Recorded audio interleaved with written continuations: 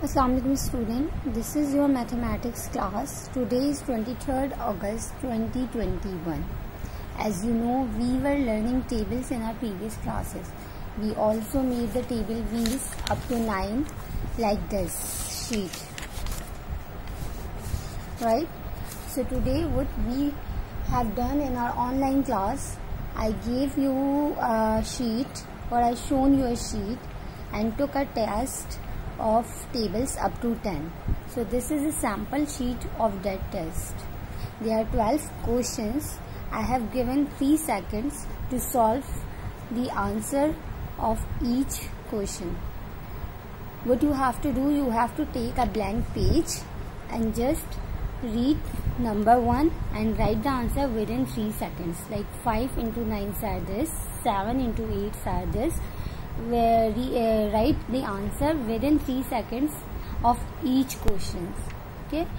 6 into 4s are this 8 into 3s are this 2 into 9s are 3 into 7s are 4 into 9s are 9 into 5s are 10 into 10s are 5 into 6 are 6 into 3s are and 7 into 7s are you have only 3 seconds to write these answers. Then count how many of uh, are right and how many are wrong. Okay? Then write the score in the score box. After doing these 12 questions there are another 12 questions. Okay? In which I step the table uh, in which I have given the answer and skip one number a number of table or a number in which the table is going to be multiplied. Okay here the the main number is missing. Dash into 9s are 45 okay?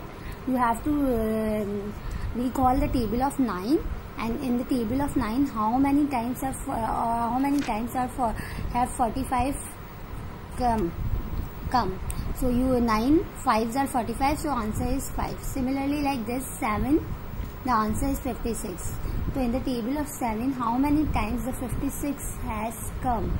7 into 8 are 56. So these 12 are uh, these 12 are the question. It takes time. It is not possible to solve these questions within 3 seconds. So this sum uh, these questions uh, takes time. So you have to um, you have to expand your mind and to solve these questions. So this is your review test of table and it shows how much you have knowledge about the table and how much you have learned the table.